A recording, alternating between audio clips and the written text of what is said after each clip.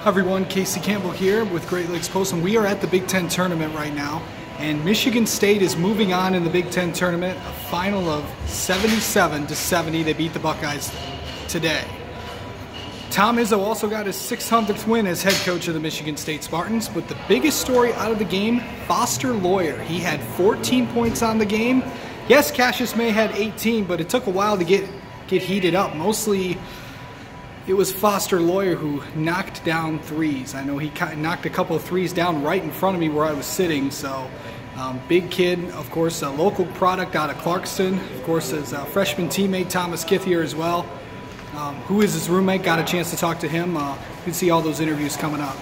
But big win for the Spartans. They move on, advance on, playing Wisconsin and Nebraska, who are currently playing right now. We'll see how that goes.